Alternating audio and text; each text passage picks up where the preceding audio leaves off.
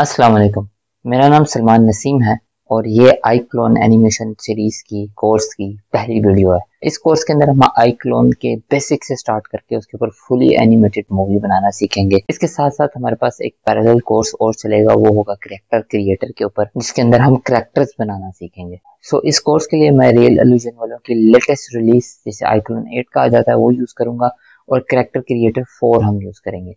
अब आप में से जो मर्द मुजाहिद ये पूछना चाहते हैं कि ये मैंने कहाँ से डाउनलोड किया? तो मैंने ऑफिशियल वेबसाइट से डाउनलोड किया और मुझे नहीं पता कि जिस तरह से आप उसे यूज़ करना चाहते हो, वो कहाँ से आपको मिल सकता। है तो इसके लिए आपको खुद सर्च करना पड़ेगा।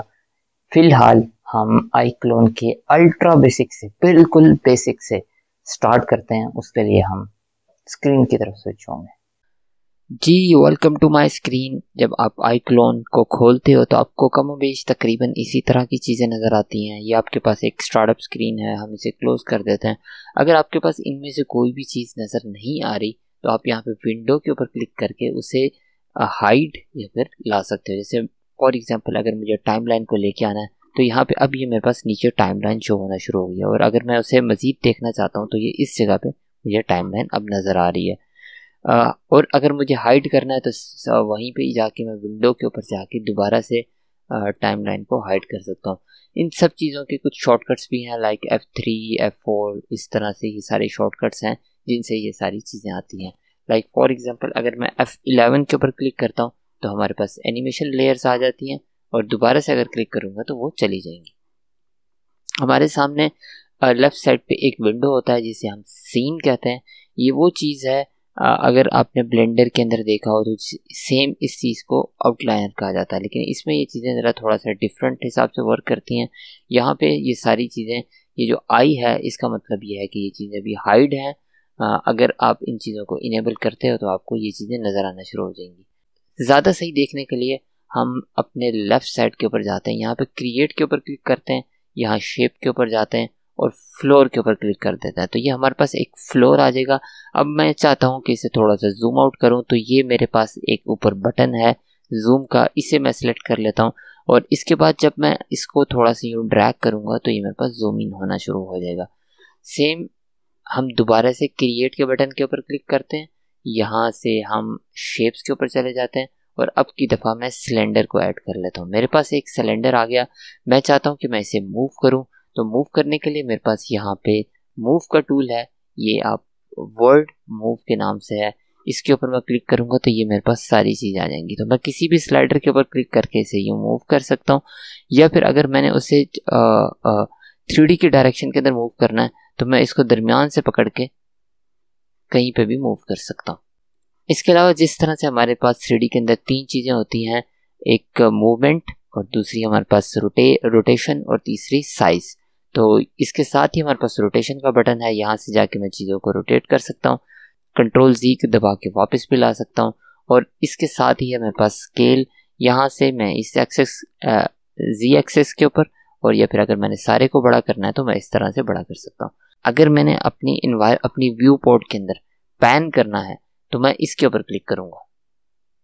तो इसके ऊपर क्लिक करने के बाद मैं इस तरह से अपनी व्यू पोर्ट को पैन कर सकता हूँ। प्लस मैंने अगर अपनी व्यू पोर्ट के अंदर ऑर्बिट करना है तो मैं इसके साथ वाले बटन के ऊपर क्लिक करूँगा और इस तरह से मैं फिर ऑर्बिट कर सकता हूँ। ठीक है, अभी जो मैंने सिलेंडर ऐड किया, ये मेरे लेफ़्ट साइड पे नज़र आ रहा है। अगर मैं आउटलाइनर से जाके उसे हाइड कर देता हूँ तो वो ये चीज़ चली जाएगी। और अगर मैं ले आता हूँ तो वो चीज़ वहाँ पे नज़र आना शुरू हो जाएगी। मतलब ये आई का जो बटन है, ये हाइड और अनहाइड के लिए। इसके साथ ही हमारे पास एक टैब होता है, उसे हम कंटेंट का टैब कहते हैं। ये बड़ा ज़बरदस्त है, ये बहुत ज़बरदस्त टैब है क्योंकि यहीं से ही हमने ज़्यादातर काम करने होते हैं। और यहाँ पे आपके पास वो सारे एसेट्स आ रहे होते हैं, जो कि आपने डाउनलोड किए हैं, ख़रीदे हैं, या फिर कहीं से ऐड किए हैं। कुछ एसेट्स फ्री होते हैं, कुछ एसेट्स साथ आते हैं, कुछ ऐसे कुछ ऐसे होते हैं, जो कि आपको ख़रीदने पड़ते हैं या फिर डाउनलोड करने पड़ते हैं। तो मैं अगर यहाँ पे जाता हूँ रिसेंट डाउनलोड्स के अंदर तो यहाँ पे मेरे पास काफ़ी सारे एसेट्स डाउनलोड हुए हुए हैं। तो मैं ये रफ़ कार का एक एसेट है, इसे मैं यहाँ पकड़ के यहाँ, इस जगह ले आता हूँ। तो अभी मेरे पास कार नज़र आना शुरू हो गई है, बड़ी ज़बरदस्त सी कार है, बहुत फिट किस्म की लग रही है। और अगर मैं रोटेट करके देखता हूँ, अभी इस वक्त जो मैंने सिलेंडर ऐड किया था, वो उसके रास्ते में आ रहा है। तो जस्ट मैं इसके ऊपर क्लिक करूँगा, यहाँ पे इसे सिलेक्ट करूँगा और उसे इधर कर दूँगा।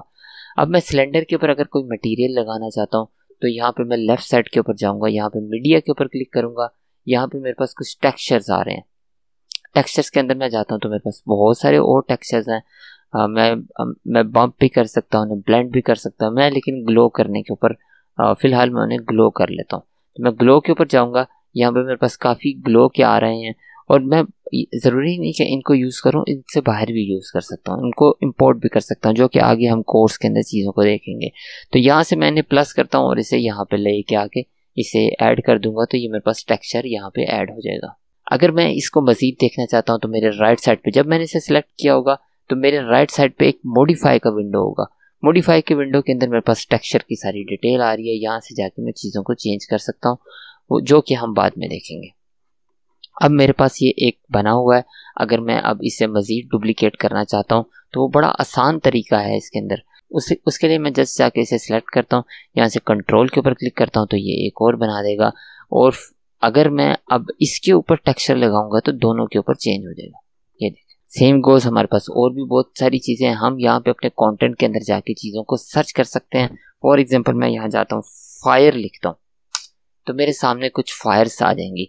जैसे ही मेरे पास हेल फायर करके आ रही है आ, ये पार्टिकल्स हैं। अगर मैं इसे यहाँ पे जस्ट ड्रैग कर लेता हूँ तो ये अब यहाँ पे आ चुकी हुई है। इसके बाद जब मैं स्पेस बार के ऊपर क्लिक करके प्ले करूँगा तो आपको यहाँ पे ये इस तरह से फायर्स नज़र आना शुरू हो जाएँगी। सो so, अगर मुझे ये चीज़ यहाँ पे अच्छी नहीं लगती तो मैं इसे इस जगह पे भी लेके आ सकता हूँ। फॉर एग्ज़ाम्पल यहाँ ले आया या फिर इसको ऊपर थोड़ा सा ले जाता हूँ या फिर सर जस्ट गाड़ी के ऊपर लेके आना है लेकिन फिर उसके बाद मुझे इसे वापस लेके जाना पड़ेगा। अब देखो मैं उसको वहाँ लेके आके उसको छोड़ दिया था लेकिन क्या है ये अब यूँ इस तरह से मूव कर रहा है। ये इस वजह से है क्योंकि नीचे टाइमलाइन के अंदर एनिमेशन आईक्लोन खुद ब खुद सेव कर रहा होता है। इस चीज़ को फिक्स करने के लिए जस्ट मैं यहाँ पे विंडो के ऊपर जाऊँगा और टाइमलाइन को ले आऊँगा और टाइमलाइन के ऊपर ले जाके इसे थोड़ा सा यूँ ड्रैग करके मैं ऊपर करता हूँ और टाइमलाइन के ऊपर जाके ये जो ये मेरे पास एक की फ्रेम डला हुआ है, इसे उठा के मैं पहले शुरू के अंदर ले आता हूँ। जब मैं इसे शुरू के अंदर ले आऊँगा, अब मैं इसे अगर प्ले करके देखूँगा तो ये इस तरह से प्ले हो रहा है। ठीक है?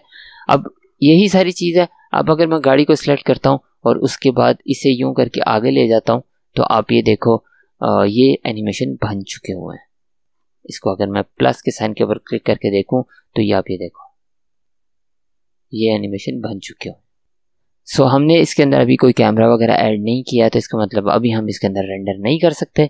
लेकिन नेक्स्ट वीडियो के अंदर इनशाला हम वो भी चीज़ें सीखेंगे। सो so, आज के लिए इतना ही बहुत है। अगर आपके कोई भी क्वेश्चन हैं किसी भी चीज़ में आपको कोई भी कन्फ्यूज़न है आप नीचे कमेंट करें। और बेस्ड ऑन दैट कमेंट्स मैं अपने अगले लेक्चर्स भी डिज़ाइन करूँगा। सो ज़्यादा से ज़्यादा चीज़ों के अंदर इन्वॉलमेंट शो करें ताकि ये हमारा आई क्लोन का कोर्स बहुत ज़्यादा अच्छा हो सके। तो मैं आप, मुझे आपके कमेंट्स का फीडबैक का और प्रॉब्लम्स का इंतज़ार रहेगा। अपनी दुआओं में ख़ास तौर पर मुझे याद रखेगा। अल्लाह हाफिज़।